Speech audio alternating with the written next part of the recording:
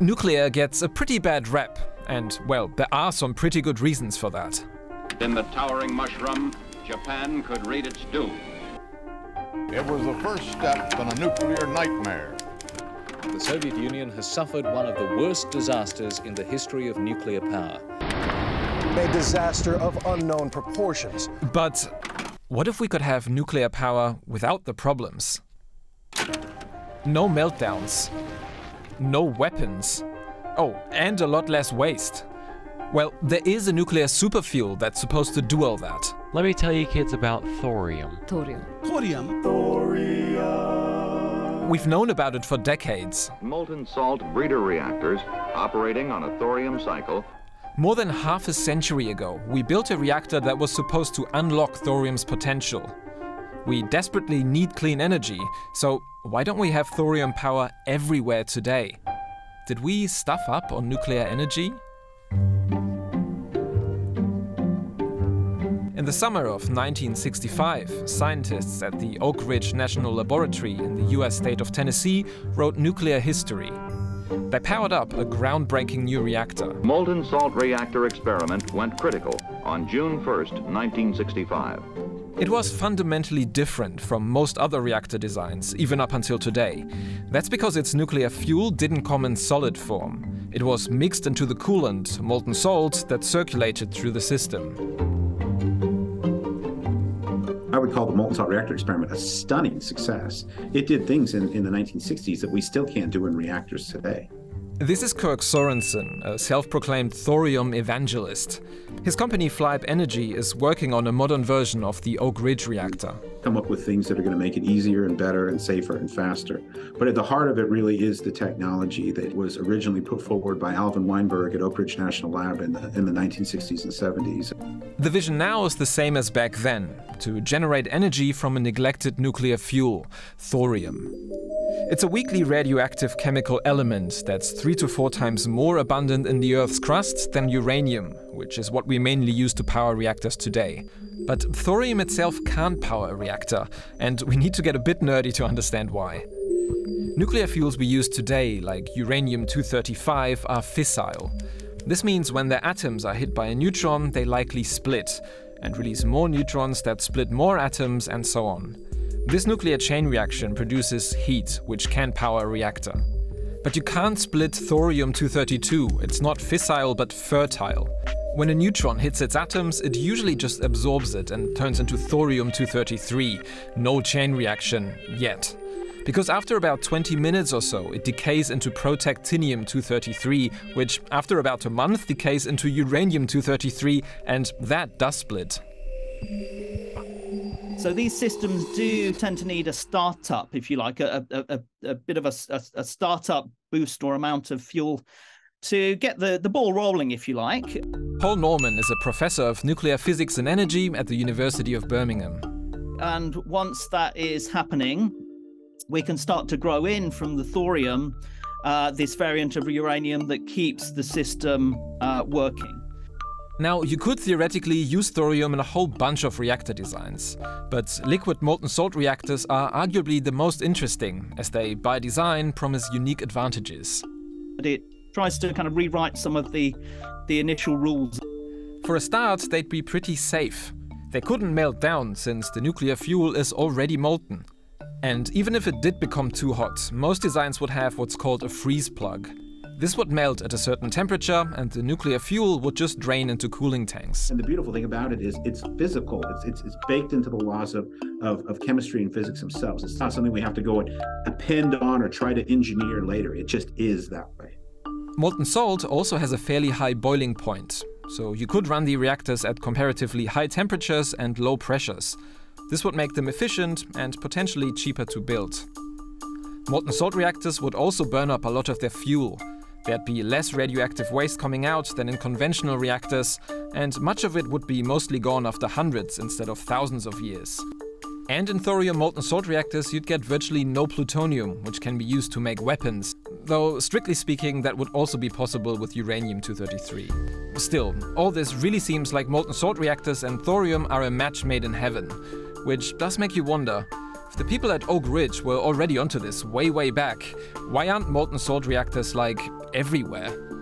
The molten salt reactor experiment ran at full power for more than 13,000 hours and became the world's first reactor to run on uranium-233 produced from thorium.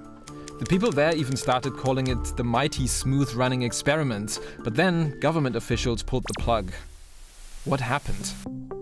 Well, for one, the experiment didn't always run so mighty smooth. The uh, experience with the molten salt reactor exper- experiment in Oak Ridge was pretty uh, bleak. This is MV Ramana, a physicist who researches nuclear policy. The uh, reactor had trouble even reaching its design power level. Uh, it then did not run smoothly. It was shut down a lot. Uh, and uh, in the four years that it operated, it operated for only about 40% of the time. There were also questions about the materials in touch with the liquid fuel. The alloy, specifically designed to withstand extreme heat, corrosive salts, and radioactivity, showed cracking. It also didn't cope well with higher doses of neutrons. And there were concerns that a radioactive gas byproduct could leak into the environment.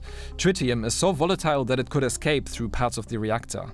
When you build something for the first time, you don't get everything right. You, you, you do find issues. That's why we build experiments.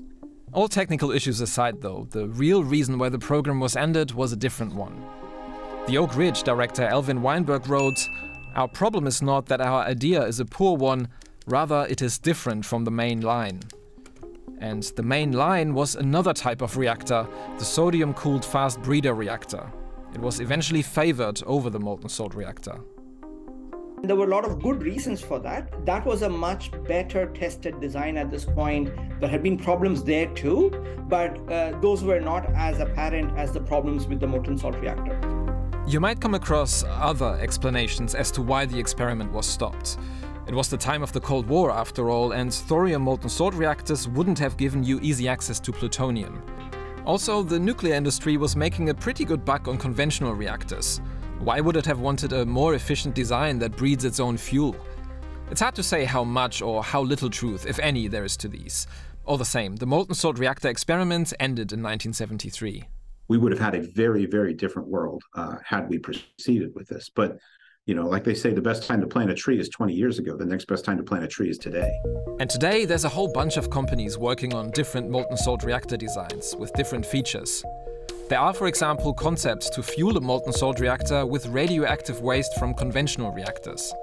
Kirk Sorensen's company, Flibe Energy, is planning to build a small test reactor before the end of the decade. We've gone through a number of generations of, of nuclear reactors and other technologies. You know, molten salt's been through one initial generation, and, and it's time to, to continue on and, and, and, and understand these, these advantages that can be uh, infused into the design.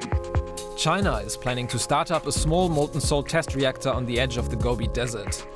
And India, home to the world's largest thorium reserves, is also working on reactors to utilize them as part of its long term nuclear strategy. So, is it second time lucky for molten salt reactors and thorium? You know, there's one level of, of it which is sort of talking and and saying you're going to do things. Well, the, the much more important aspect is to actually be doing it. And, well, this might prove a lot harder than flashy 3D animations suggest. Yes, molten salt reactors are meltdown safe, but that's not the only thing that can cause a nuclear accident. Any good regulator will be asking a lot of questions to a designer. Uh, how will this reactor behave if there's a fire? What if there's an earthquake? What if your operator presses this button instead of that button? Those are not easy questions to answer. Regulators might require changes to reactor designs, which could make them more expensive to build, which would kinda take away one of molten salt's biggest drawcards. And remember the cracked components at Oak Ridge? Well, problems like these need to be solved as well, not just on paper, but in a real radioactive environment. Under those sorts of conditions, of course, it's harder for materials to bear up. So they're almost invariably things like that that have to be further researched and developed, uh, and really that sort of confidence made um, that uh, they can work okay within the extreme environment of the reactor that the materials sit. And then, of course, money. There needs to be like a lot of it. To to fund all the research for one, but also to build up an entire infrastructure and supply chain from scratch. In the last couple of years, we've had more capital than we've ever had before, and we've proceeded much faster than we ever had before. But it's still a very, very small amount compared to where we need to be. So let's be clear there's a lot of catching up to do. Commercial thorium molten salt reactors are still years away, at least, if they ever happen at all. So we shouldn't let this dream distract us from climate solutions we have available now. Did we take a wrong turn in the 60s?